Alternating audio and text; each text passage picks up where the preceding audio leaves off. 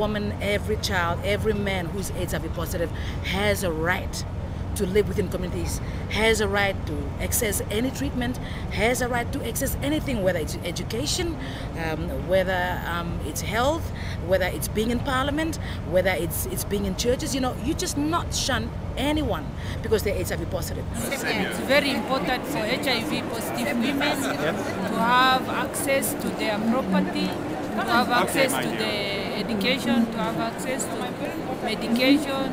As a woman living with HIV and AIDS, we have a right to live, we have a right to marry, we have a right to have children, we have a right to enjoy or to enjoy the family groupings like any other person.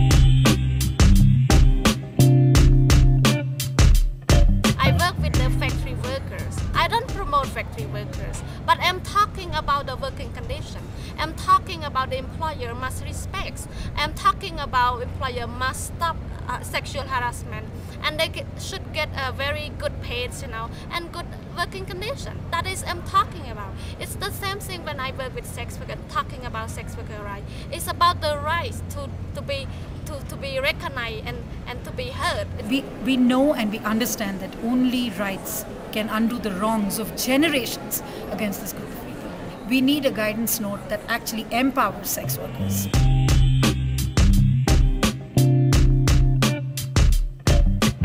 Legally, prisoners keep all of their rights except the right of freedom of movement. So, from a legal point of view, the state has the obligation to respect those rights of all prisoners, including the right to health.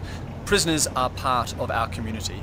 They will go into prison, but they will also come out of prison. What happens in prison is of vital importance to the health of the community in general.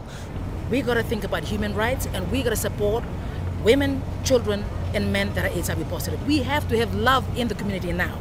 We got to start loving those people in that love to return back to us if, if anything happens to us. Creo que la epidemia no va a cambiar hasta que dejen de haber culpables e inocentes. Apropiarse los derechos. La persona que no se apropia de sus propios derechos no puede reclamar ni siquiera reconocer cuando un derecho violentado.